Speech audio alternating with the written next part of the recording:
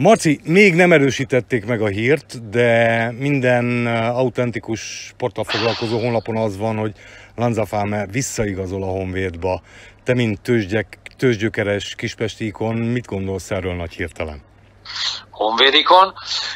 Én nagyon örülök neki, megmondom, hogy furcsának tartom, hogy pár mérkőzés után visszaigazol a Lanzafame.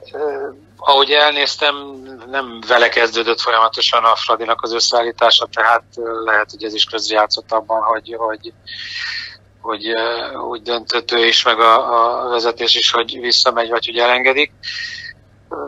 Nyáron, amikor új tulajdonosok jöttek a Honvédhoz, szóba került, hogy, hogy megpróbálják megakadály, nem megakadályozni, hanem meg, megbeszélni a Fradival, hogy, hogy ne kerüljön sor erre a transferre, de akkor már túl késő volt. De érdekes szituáció, megmondom őszintén, most próbálok egy játékos fejjel gondolkodni, hogy, hogy pár hónap után vissza, visszamenni a régi sikerek színhelyére, de én mindenképp örülök neki, mert, mert ezzel a Honvéd nagyon erősödik. A, ahogy a Fradit nézem, elég erős a, az állománya, nem innen, hogy ők gyengülnének, a Honvéd viszont mindenképp erősödik. Ö, nem finomkodom, lehet, hogy Rebrovnak öreg volt már Lanza Fame, maga 32 évével? Nem gondolnám, hogy uh, itt a kor vagy valami, hát ragyogó állapotban van, jó erőben van, nincs rajta súlyfölösleg. Amikor hát, tavaly, uh, tavaly ő volt a gólkirály, tehát uh, nem gondolnám, hogy, hogy itt a kor az valamit befolyásol. Ahhoz mit szólsz, ahhoz a felvetésemhez, hogy ezt az új skandináv csatár úriembert már célzottan mondjuk Lanza helyére hozták? Elképzelhető, mondjuk nem, lát, nem látok bele a kártyákba, de elképzelhető, hogy már előtte, ezt gondolom, hogy most nem egy félnapos történet, előtte gondolom a felek már felvették a kapcsolatot, és hogyha hajlandóság volt, gondolom a Honvédnak is milyen a zsebbébe kell nyúlni, hogy kifizesse a lánzafámét, akár ha van transferdíj, akkor azt, hanem akkor a ö, megemelt ö, fizetését, amit a Fradinál kap, és lehet, hogy, hogy ennek volt a következménye az, hogy, hogy ők pedig leigazolták a, a Norvég gól király. Norvég gól király, igen. Ugye Norvég királyt.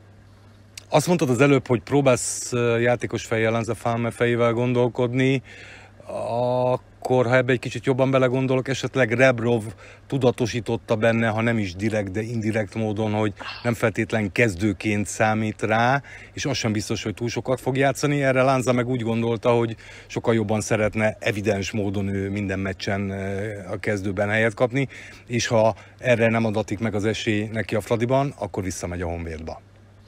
Hát nézd, mi, eh, most, hogy, már itt a játékos fejjel való gondolkodásról beszélünk, eh, pláne egy külföldi játékos eh, mindenképp játszani szeretne. Tehát, Magyar is? Az, a, a, a magyar is nyilván, de egy, pláne, hogy távol a hazától, stb. függetlenül, hogy hány éve van itt Magyarországon, ücsörülni a kispadon, meg hát ő nem gondolnám, hogy szeretne olyan szerepet vállalni, mint tavaly a Böde Dani, aki, aki előtte meghatározó volt, aztán hol játszott, hol nem, ez ráment a válogatottsága és stb. Tehát ezt mindenki megértem, hogy mint játékos neki az a prioritás, hogy, hogy folyamatosan játszom a kezdőcsapatban legyen. Ő ezt átérzi és látja, és hogy neki erre meg is van a kvalitása, de nyilván, hogyha az edző másképp gondolja, meg hoznak még rá, még rá plusz csatárokat, akkor uh, neki az nem egy pálya, hogy most csak 15-ször játszon a 33 meccsből plusz a kupa meccsek.